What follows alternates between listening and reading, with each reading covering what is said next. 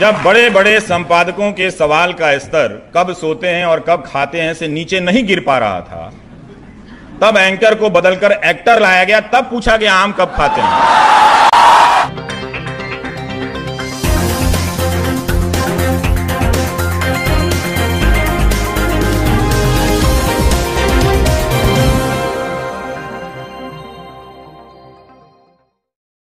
जब आप कब खाते हैं, कब सोते हैं कब जाते हैं? नहीं नहीं। नहीं प्रक्रिया से चलिए, मैं प्रक्रिया से बता हूँ।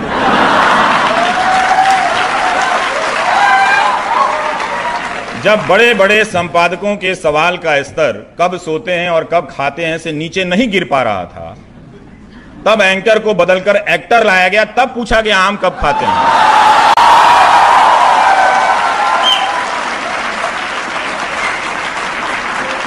ये भारत का मीडिया है। आप इस सरजमी की मिट्टी, धूल, कण, पेड़, पौधे, हर चीज़ पर फख्र कर सकते हैं, मगर 2014 के बाद के मीडिया पर आप फख्र कर ही नहीं सकते हैं। तो भारत के मीडिया ने आम लोगों के सवाल पूछने का आत्मविश्वास तोड़ दिया। तो सत्ता से डरने वालों की तादाद भारत में बढ़ा दी गई, और भारत का मीडिया इसके बीच धीरे धीरे खुद भी खत्म होने लगा। संपादक और एंकरों को जब निकाला गया तो मीडिया के एक हिस्से में खुशी ज़ाहिर की गई। ऑस्ट्रेलिया में आपने देखा कि एक जर्नलिस्ट के घर पर छापे पड़े तो सारे अखबारों ने मिलकर एक दिन तय किया और प्रतिरोध किया। यहाँ कल को मुझे भी निकाल दिया जाएगा तो कोई दूसरा एंकर प्राइम टाइम में एंकरिंग कर रहा होगा, अंग्रेज़ी वाला कि सही हुआ, निकाल दिया हिंदी वाले को।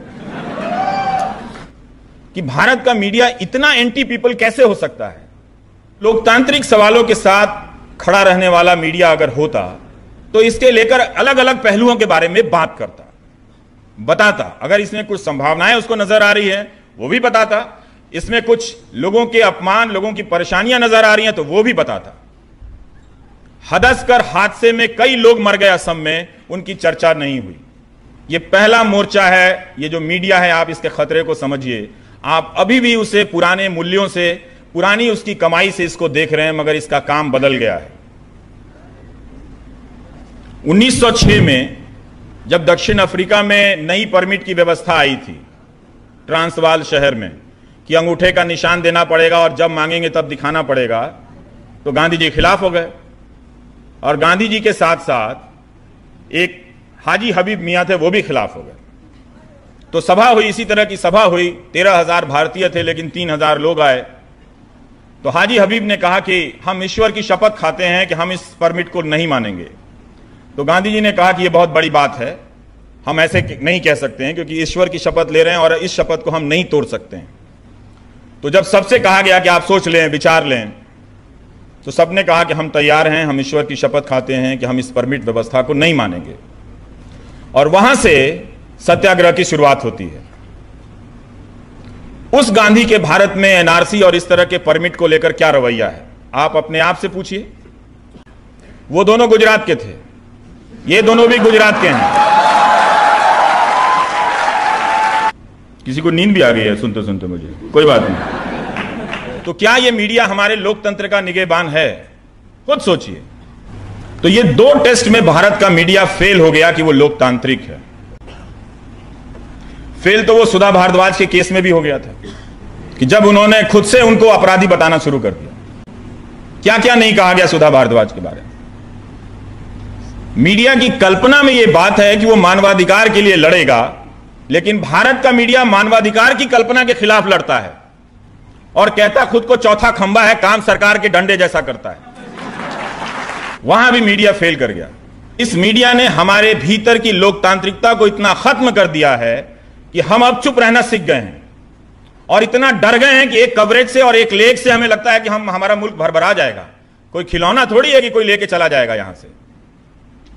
ये ज़मीन तो यही रहने वाली है। हम रहें या ना रहें?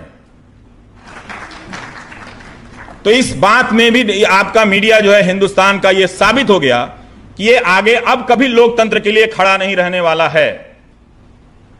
ये खतरनाक औज़ार है आपके सामने। इस बात को समझ लीजिए आप। इसीलिए आप देखे होंगे जब 2014 का एग्जिट पोल आ रहा था तो अर्नब गोस्वामी और देशमुख की दोनों दौड़े दौड़े आ रहे थे उसको लेकर। मैंने लगा सेट पे क्यों दौड़े आ रहे हैं ऐसा लग रहा है एग्ज़ाम का क्वेश्चन लेके भागे जा रहे हैं।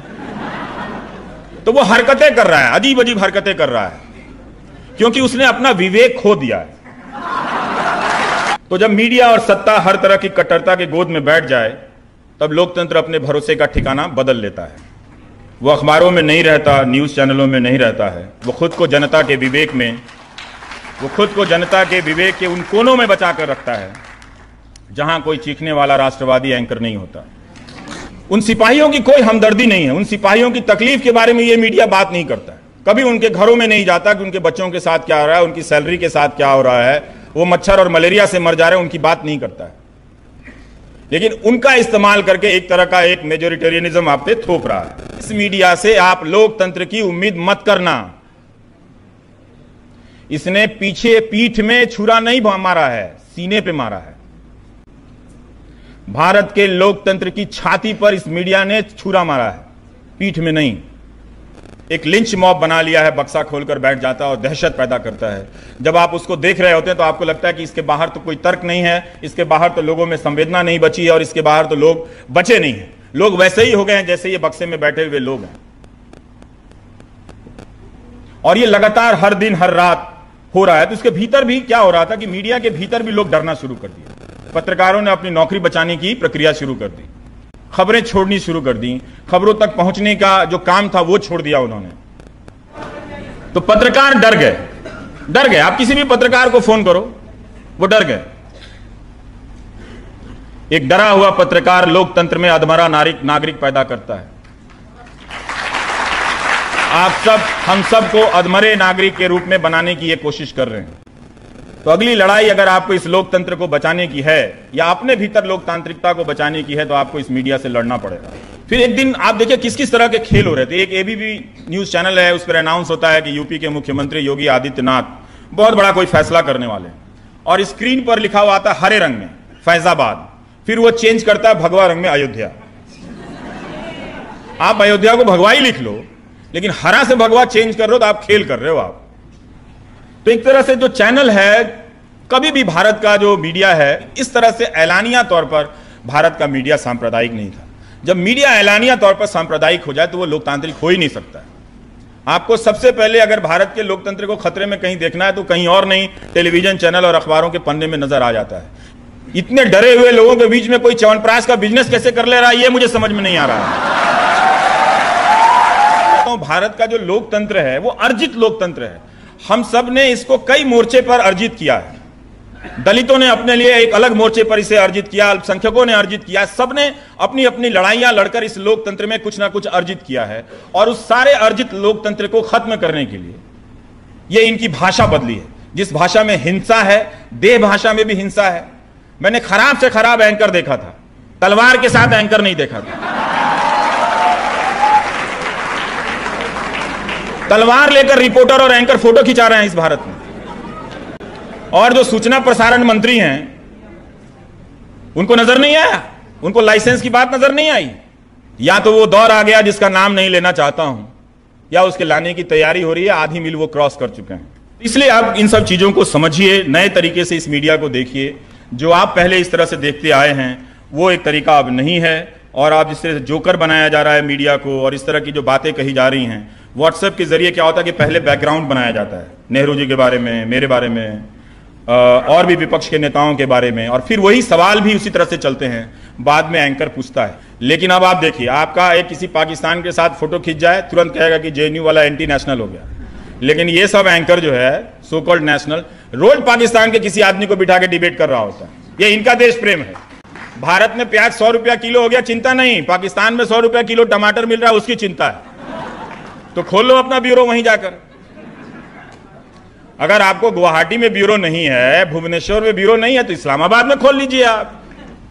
तो ये पूरा पेट्रियार्की का मीडिया, ये डेमोक्रेसी का काम कर ही नहीं सकता है, इसके समझ के बाहर की बात है। हम वतन हैं और हम सब एक दूसरे से प्यार करना, गले लगाना सीखिए, लोगों को माफ़ करना सीखिए। और वो लोग भी जो आपको गालियाँ देते हैं, उनको भी माफ़ कर दीजिए। जो तलवार उठाया है, उसको भी माफ़ कर दीजिए। गांधी जी होते तो यही करते। लेकिन ठीक है, ये दुख की बात है कि वो गोडसे को ट्रेंड करा दे रहे हैं और उनमें से कई ट्रेंड कराने वालों को सरकार के मंत्री फॉलो करते हैं। दुख की बात हमारे प्रधानमंत्री भी करते हैं।